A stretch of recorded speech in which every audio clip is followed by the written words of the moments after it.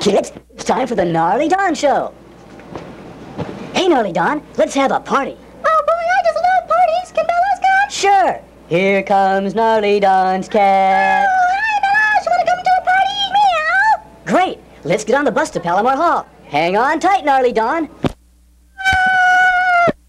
Well, we're here, Gnarly Donn, and it's time to party. But animals aren't allowed in the dorms, Gnarly Donn. Oh,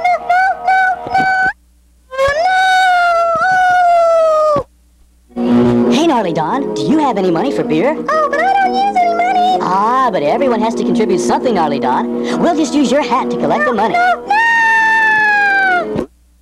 Look at all those pretty girls, Gnarly Donn. Why don't you ask one to dance? There's a cute little blonde. Oh, oh, will you dance with me? Uh-oh, that one's got a boyfriend, and boy is he pissed.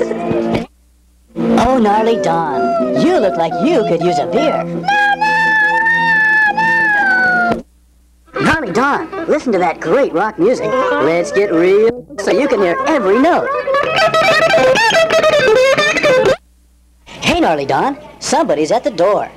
Uh-oh, it's Mr. Handelsman, and he wants to have a word with you.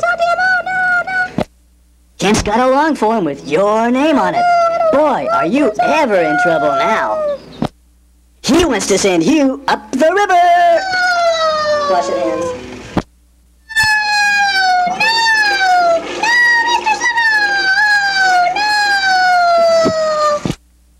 Gnarly Donn, you look like you could use some drying off. Oh, I'm sorry, Gnarly Donn.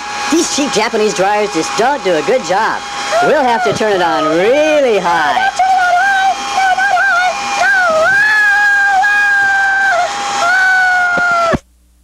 Well, Gnarly Donn, the party's over, and you get to take the cake back to Cork and Bottle.